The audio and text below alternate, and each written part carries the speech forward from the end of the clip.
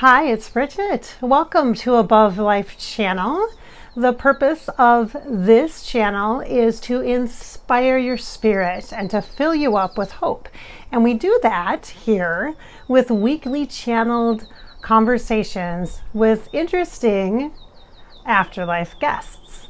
So today I'm actually kind of doing a personal share slash probably a channel with um, someone who has been a big part of my childhood. And I have a little backstory I want to share with you. So we're on my deck here, and this is a place I really love to meditate when I can. I live in Minnesota, and so it's cold a lot during the winter and the fall and our so when we have summer and it's beautiful, I really want to enjoy it. So I, I, meditate out here. Sometimes I do sessions out here on the phone. I really love it. So welcome to my deck area and I want to share with you. So I ordered this shirt and I got it in the mail yesterday. Yesterday was June 25th, 2018. I ordered this shirt because it's a Disney World shirt or a Disneyland shirt. It says Neverland, so it's a Peter Pan shirt, right? I love Disney. I really love Disney. Disney World is really special to me. I grew up um, going to visit relatives in Southern California, and so I'm really drawn to that, which also is what draws me to Hollywood as well. And so I just have a lot of connection there. And uh, a lot of really good memories. And so this Neverland shirt, I saw it, I'm like, I want that. And it arrived yesterday on Monday, the 25th of June. And so I wore it yesterday and I just popped it on today. I'm recording this video on Tuesday, the 26th and I just popped it on today for this video so you could see it. And here's the backstory. So this morning, I I was chatting with my oldest son. He is 15, almost 16, and I said, I, I need a channel. I need to do a channel today, and I'm not sure who to talk to. Who should I channel? And he said, I know. And I'm like, what? He's like, what's the date? I said, I don't I don't know what the date is. It's the summer. You know, it's June something, you know. so I, I'm like, I don't know, I don't know, you know. And he's like, so he grabs his phone, he looks up the date, and he said, I know who you should talk to. He said, yesterday was the anniversary of Michael Jackson's death. And my son knows that I totally loved MJ when I was growing up, childhood, super connected. And I thought, that must be why I've had his energy around lately in the last week or so. Even when I was driving back from a very late night on a soccer tournament, like a five and a half, six hour drive, constantly Michael Jackson songs came on. That was this weekend. And so must have been leading up to his anniversary of his crossing over into the afterlife. So I'm going to share with you a few things that I have now. This was, um, this is a gift that my mom gave me after, I think it was after Michael Jackson died. Yeah, after his passing, she gave me this book. has wonderful pictures and all sorts. I mean, the pictures are just incredible that are in this book. It's a beautiful book. And knowing that I loved Michael Jackson, she gave it to me. It says Michael by the editors of Rolling Stone. And just a beautiful homage to him. Just the pictures are so gorgeous. And so I just loved it. I mean, check this out. Look at that. So I've been rather, whatever your opinions are of Michael Jackson, you understand what it's like when you're a fan, right? Especially when it was your childhood. And it was like a lot of his songs were the soundtrack to my childhood, fifth grade, sixth grade. Um, just a really big part of my life, especially fifth and sixth grade. And so I told my husband, so I didn't channel at that time. I told my husband, we got, he got home when we went on a walk, and I said, I need to get out my memory book, my memory box, rather, my box. And so I'm going to show this to you. My mom gave this to me several years ago, maybe 10 years ago now. This big wooden box with some stuff that she found when um, she was moving. And so I know, okay, so what does this look like to you? Let's, it's not, I mean, it might be a little morbid, but it kind of looks like an urn, doesn't it? It's not, it's not, you guys. Um, or an old silverware box, which is kind of what my dad's urn looked like. Just, let's just be honest here, a little authentic.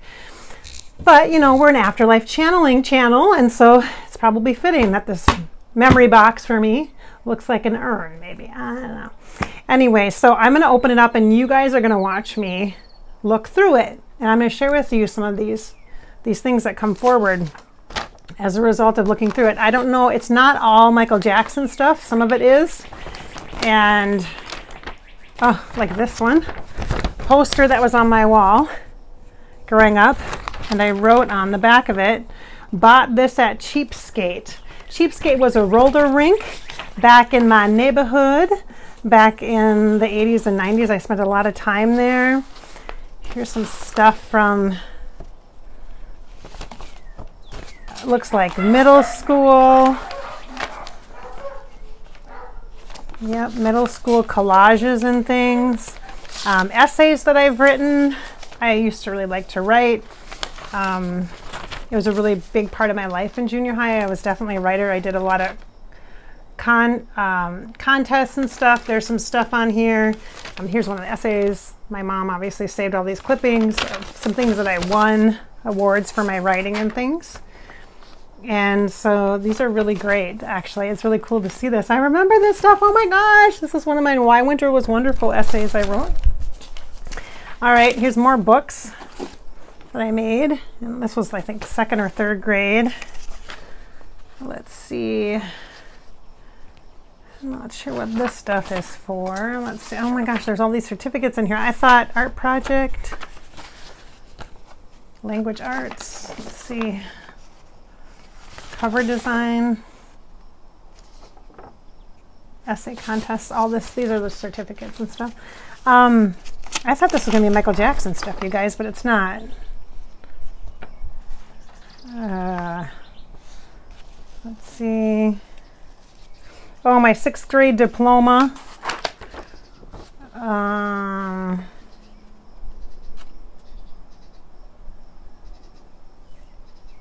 Oh, I was on the flag line in junior high, and then I was a cheerleader. Here's my letter for cheerleading award. I'm not going to show you all this stuff. Um, more essays. I did a lot of writing. I mean, I knew I, I've always been like a talented writers conference. Oh, with a play for sixth grade. Oh, drama, theater, thespian stuff. I did some of the acting stuff, but I'd always pick like the weird roles, you know, like I'd play guys and I'd play old ladies, and I just liked the weird stuff. There's a lot of stuff in here. I have no idea what's in here. Oh my gosh, I know what's in here. This is cool. I'll talk about this in a little bit if I have a second. And if I don't, I'll do a part two and I'll talk about the blue folder. My part two will be my blue folder. Just checking my mic here because I just pulled the cord a little bit. So let's see if there's any Michael Jackson stuff in here.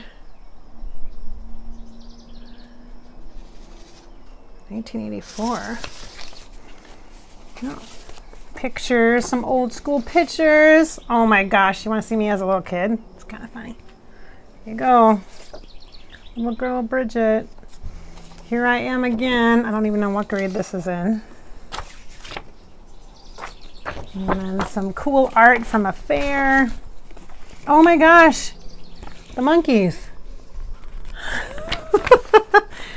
Yeah, I had friends in junior high that were really into the Monkees. They would watch all sorts of, you know, the reruns after TV and stuff like that.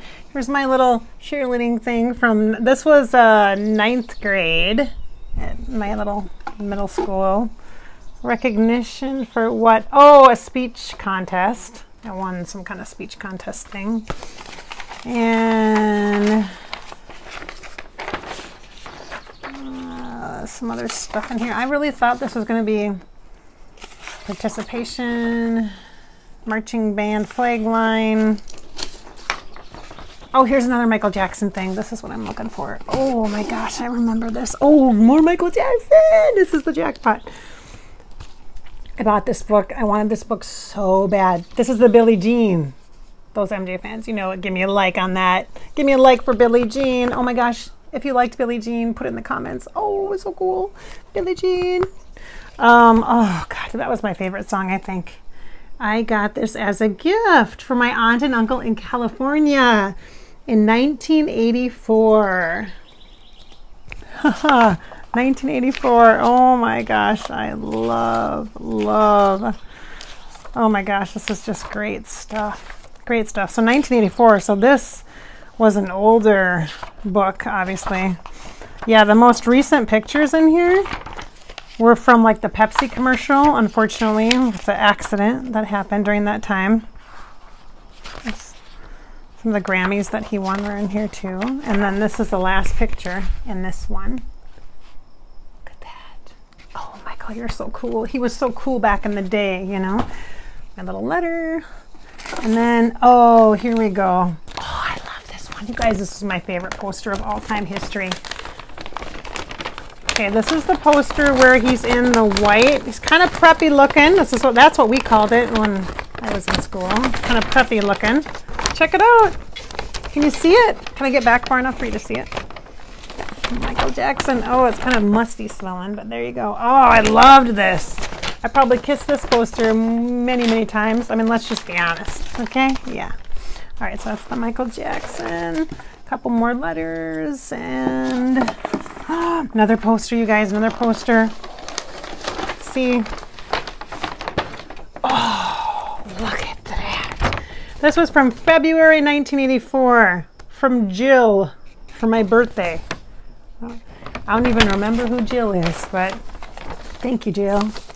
And then, oh, here's a picture, one of my newspaper clippings. Michael Jackson newspaper clipping. There we go. And that. And then that's it. That's what's in here, my friends. That's what's in here. So the Michael Jackson stuff, I thought there would be tons of Michael Jackson stuff. There's not tons of Michael Jackson stuff. There's just a little bit.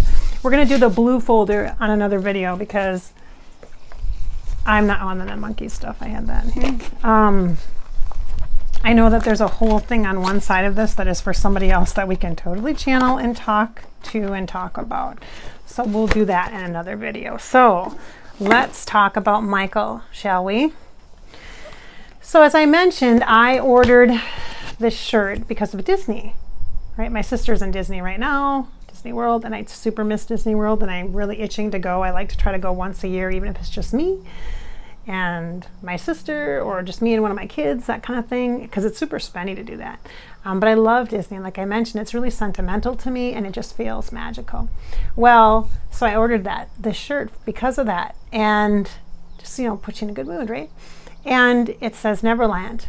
Well, it arrived on the day that was the anniversary of the death of Michael Jackson in one of his homes, his Neverland Ranch in, I think it's by Santa Barbara.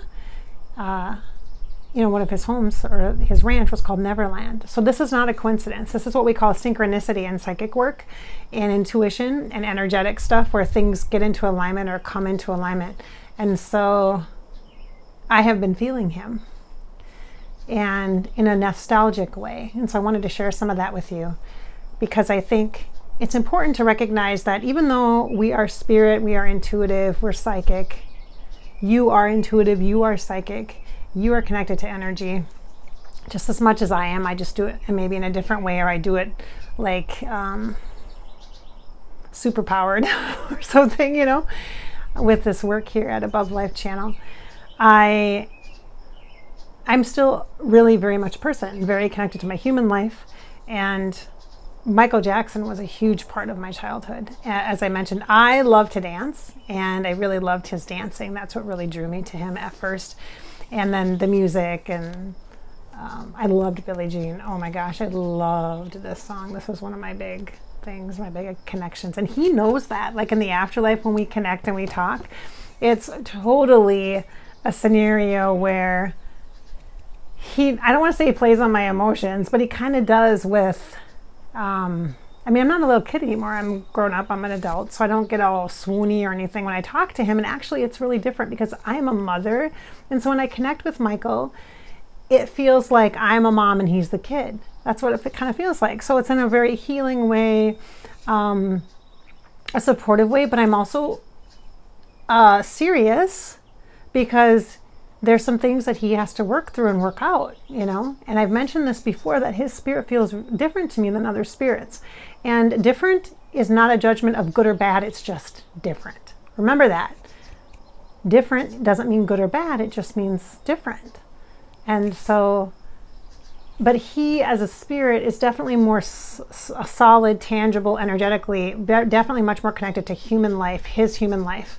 It's not because of his legacy, it's not because he feels like he has to be here, if it's because he feels the now I'm feeling like this racing of my heart, so I feel him present. So let me just calm myself down.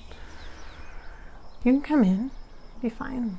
He's off to my left side. He's got his black hat on. This black hat and his kind of curls are down.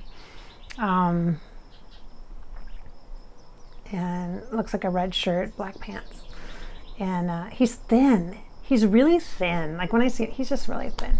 And uh, he's always got black shoes and white socks. And I, I think that's just my thing because that's how I think of him, maybe. I've never seen him in tennis shoes. Do you ever wear tennis shoes? He says, Yeah, I wear tennis shoes. I wear Nikes, he says. Don't you remember seeing me in Tigers, which are like kind of like Asics, I think, back in the day, you know? I'm like, no, I don't really remember seeing you in that. He's like, these are my dancing shoes. He's saying because the bottoms are slippery, the loafer type shoes that you see him in, they're slippery bottoms. So he likes how they move. But no, he's like, no, I wear tennis shoes, just not not as much, you know, not not how you'd see me. I, I prefer these; they're easy to slip on, and you know. So if I have to wear if I have to wear shoes, he says I just slip these on. It's easy. Um, will you talk a little bit about? Um, because all this is coming up because it, we just passed the time where you transitioned, where you went into the afterlife. Can you talk a little bit about or help me to explain to others how your spirit is different a little bit than how maybe I would see or perceive or feel other people's energies? Can you talk just a little bit about that?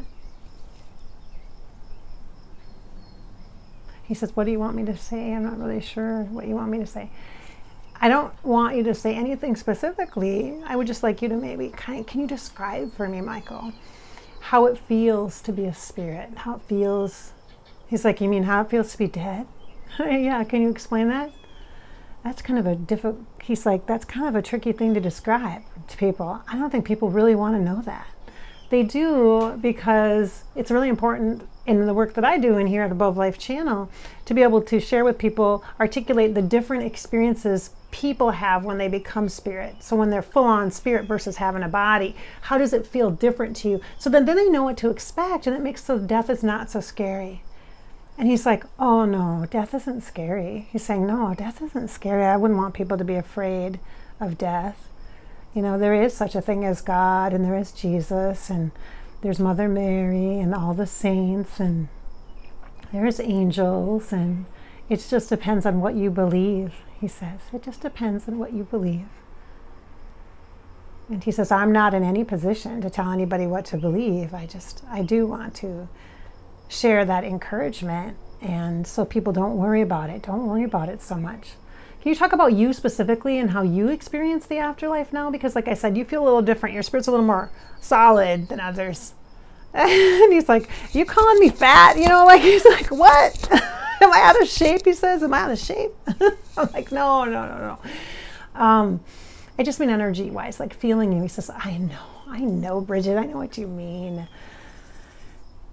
Yes, uh, yeah. He says, Yeah, it is different, I think, for me. And you could probably, he's saying, he's saying to me, you could probably tell them about that more than I could. Because to me it doesn't feel any i don't know what to compare it to. It's not any different than what i just know. My experience is my experience he says. My experience is my experience. Can you try to describe it? Like compare it to human life? Well he's saying it's relatively simple. There's not much schedule or there's not a clock. There's not a list or to-do list or there's really nothing that has to be or needs to be done. And it's kind of just like you're waiting but you're not waiting. You're resting like and i don't mean like resting you know like sleeping. I mean like resting like it's not there's not pressure there's no panic.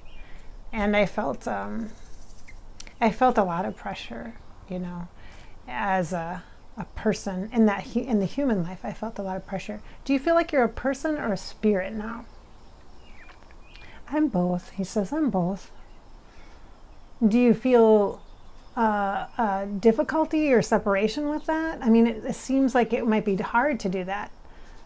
Well, it depends on what you mean by hard. I think there's a misperception, even by you, that I'm lonely. And I think that that's some of the remnants, some of the leftovers of my human experience. I definitely, I would say I was definitely very lonely. And because people didn't understand, you know, they didn't get it. They didn't get me. And that's really painful to know that people don't get you, don't understand you. Even your own family doesn't understand. And the public loves you so much, and all these strangers just want what's best for you. They want, well, they just want you to be happy. And, but they think that you're happy just, you know, performing and being on stage. And that's true. That is true. That's a big part of me. And as a person, it's a big part of me, part of who I am is performing. But there's another part, you know, that I really feel that I missed out. And I don't want my children to experience that. And that's the that's the part I think that you feel that makes me feel more whole than others, more solid than others in your words. I prefer the word, I like the word whole. It sounds sounds a little nicer. It doesn't sound like I'm so tormented. I don't want people to think I'm dragging chains around, you know, wandering around Neverland or something. You know, that's really spooky and I would never scare anybody like that. But yes, I think that many people could actually sense me as a ghost and maybe misunderstand that and think I'm stuck. And even you've used those words, Bridgette. You've talked about that. And, and maybe I am. Maybe to some extent he's saying maybe to some extent i am. But it, it's by choice. And i want people to know that part that you have a choice and i have a choice. And so talk to me well what do you mean choice then? You have a choice to stick around or to move on? Yes we all have choice. At any time i can change my mind and do something different but my children i, I feel needed I feel it's hard to let go. It's like we're connected. And I feel like how he's describing this, it feels like to me like they're connected through this pain. Like they're super close, like he can be really close to his kids, like physically close to them, and then, but can't touch them, and they can't touch him. And it's that to me is like tragic. Like, I wouldn't want to live that. And um, do you think that there's a way that you can find peace? says, yeah, I'm, he says, I'm working on it. I'm hoping. I think anything's possible. He says, I think anything's possible. And I'm, I'm really taken care of. Will you describe that to me? Well, you know what I mean by that. You know, it's like therapy, you know. I'm I'm in like a I'm in and out of a place that I can be cared for. And you can describe that, I think, better than anyone else. Will you? Can you talk about that, Bridgette? Uh, yeah, I can. It kind of almost feels like a care facility. Like when someone gets surgery and they can't go home, but they don't need hospitalization, for example, that's kind of like the same thing. They need to be able to, you know, get their physical therapy and get their body back into alignment, working right, and then they can go home, right? That's where he's at. He's kind of in that care, the rehab facility. Okay, he says, Yeah, I like that. That's a good way to say it. Thank you. That's a really good way to describe it. Yes, and it's by choice. Tell them how much I want to heal. I want to be healed. Because the more I heal, the more my children will heal. And we're so connected. And I feel very responsible to follow through on my commitments. And I love them deeply. I love them so deeply. And I miss them very, very, very much. And I know that they miss me. And you know, it's it's heartbreaking. But I'm doing the best I can. Yeah, and he says, Thank you, by the way. Thank you for sharing that uh, message for my daughter. He's saying, Thank you, by the way. Thank you for sharing that message for my daughter. You're welcome. He's very kind, you guys. He's very kind and he's very appreciative, but he does feel very young. Um, very, he says, youthful. He says, I like that. okay. But almost, I mean, he does really do, he does feel childlike, you know. He says, I like your shirt. I like that. I know you would. I know. He says, it's so sad, tragic what happened in Neverland. He's saying that's tragic. I know, I know, but we got to focus on the positive, right? Yes, we do. We certainly do, right? Let's agree to that. We're going to focus on the positive. He's like, Yes, ma'am. Thumbs up. He gives me a thumbs up. Yes, ma'am. Uh, when I work with him, I've done um, a few, three or so, maybe four personal sessions with him, just like healing sessions with spirit, which I've never done before. it's just kind of how Michael and I have worked together. And so um, and I've never had a spirit ask me to do that or I've connected with that I felt like I need to offer that. And if they want to do that, then I am uh, will reciprocate as much as I can. And so that's what he and I have been doing. And so, um, which is a different kind of experience for me as a psychic too, and as a medium, I suppose. Says, "Oh, you're good at it." I'm like, "Thank you." Okay, they're gonna totally think that I'm making that up. So you need to cut. Can you kind of come in? Like we're gonna do a selfie. Can you get close? Prince does that to me. He's like, "Oh, Prince does that." Prince might. He's like, oh, "Prince gonna be okay with that." he says, "Prince gonna be okay with that." He gets kind of mad. He's kind of territorial about you. You know, he's like, he's kind of like not sure about me. I'm like, I know. Come on, just come on. Let's do a, a selfie. Okay, get in real close. All right, get in real close. Okay, guys, feel his energy. It's right here on this side of me says heal the world, and I literally see his glove come up. I've had that song in my head for like five days heal the world, make it a better place for you and for me and the entire human race. I've had that. I need to listen to that song. I think I will. All right, so if you're still watching this video, thanks for making it to this point. Go ahead and put some comments below. What are your, are you an MJ fan? Are you? What are your favorite songs? From Michael Jackson or your favorite memories of Michael Jackson, go ahead and post that in the comments, please. I would love to know from one MJ fan to another. Thank you for sharing. That's really nice of you. He says, Oh, yeah, you're welcome. He says, Thanks for letting me talk. yes, I'll do it again, I promise. We'll see. we'll see when. This is Bridgette at Above Life channel. Remember, the purpose here is to inspire your spirit and to fill you up with hope. And we do that with weekly channeled messages from interesting afterlife guests. Be sure to like, subscribe, and to share this video with others you think would enjoy it or benefit from it. I hope you've enjoyed it as well. Thanks for being here.